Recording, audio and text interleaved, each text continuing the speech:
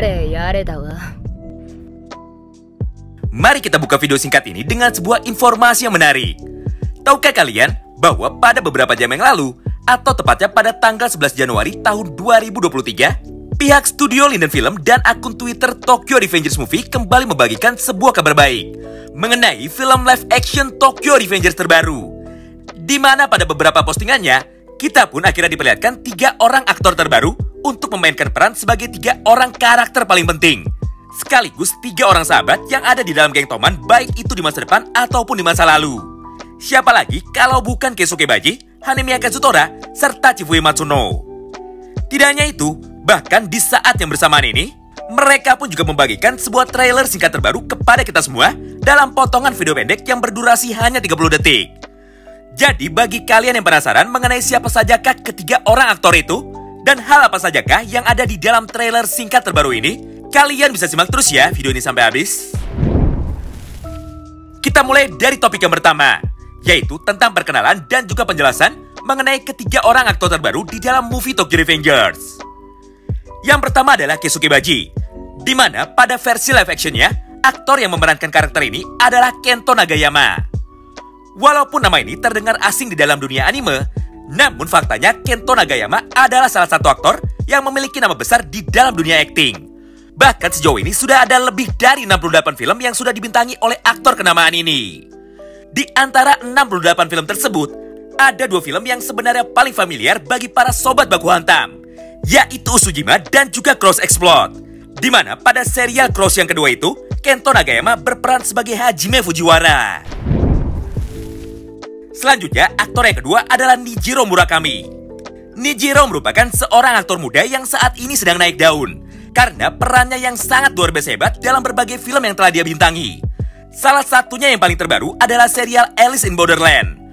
Bahkan untuk ukuran aktor muda yang baru berusia 25 tahun, Nijiro sudah berhasil menjadi idola para kaum hawa di berbagai penjuru dunia. Apalagi kalau kalian lihat kolom komentar YouTube dari trailer terbaru ini, maka hampir semua isi komentarnya akan menyebutkan nama dari Nijiro Murakami. Kemudian yang ketiga adalah Mahiro Takasugi. Nah, untuk nama yang ketiga ini harusnya kalian sudah tidak asing lagi. Karena faktanya Mahiro adalah aktor dari Kamen Rider Yugen di serial Tokusatsu Kamen Rider Gaim. Jadi, untuk berperan sebagai aktor dari Kifuyu di dalam film bergenre baku hantam, harusnya bukan sebuah hal yang baru lagi bagi Mahiro Takasugi. Intinya, di dalam movie Tokyo Revengers yang kedua ini, pihak studio sangat serius sekali dalam mengerjakannya. Dengan cara merekrut aktor-aktor hebat yang sudah memiliki nama besar. Ditambah mereka pun berusaha semaksimal mungkin untuk membuat movie yang kedua ini menjadi seakurat mungkin dengan versi anime ataupun mangganya. Hasilnya bisa kita lihat sendiri dari penampilan ketiga orang tersebut. Di mana secara umum ketiganya sudah sangat cocok dan juga sudah sangat mirip sekali dengan karakter asli versi mangganya. Bahkan Baji pun di dalam versi live actionnya diperlihatkan mempunyai gigi taring juga. Selanjutnya kita masuk topik yang kedua, yaitu breakdown dari potongan video singkat trailer Tokyo Revengers. Nah, secara umum trailer ini hanya berisikan tiga buah panel penting saja karena durasinya yang sangat singkat. Panel pertama adalah momen perkenalan dari Keisuke Baji, di mana pada momen itu Baji berkata seperti ini. 一番隊隊長バジケイスケは本日をもって東満の敵だ Kemudian langsung disambung dengan momen perpisahan dari Keisuke Baji kepada Sarumanjiro dan seluruh anggota geng Toman yang lainnya. Hingga diakhiri dengan salam perpisahan Baji kepada Chifuyu dan juga Takemichi. Namun untuk momen yang ketiga ini sebenarnya sama sekali tidak ada di dalam manga. Jadi sampai video ini selesai dibuat, kami pun belum tahu apa konteks di dalam dialog mereka.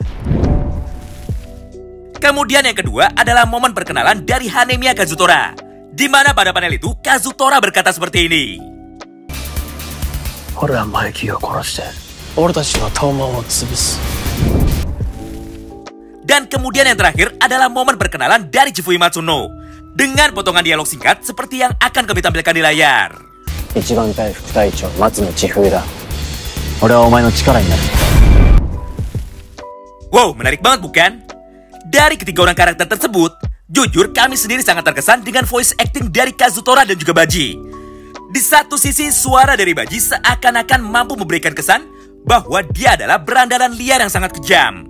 Sedangkan di sisi lain, walaupun suara dari Kazutora terdengar pelan, tapi nada yang dikeluarkan sangatlah akurat. Karena faktanya, Nijiro Murakami mampu memberikan kesan teror kepada lawan bicaranya.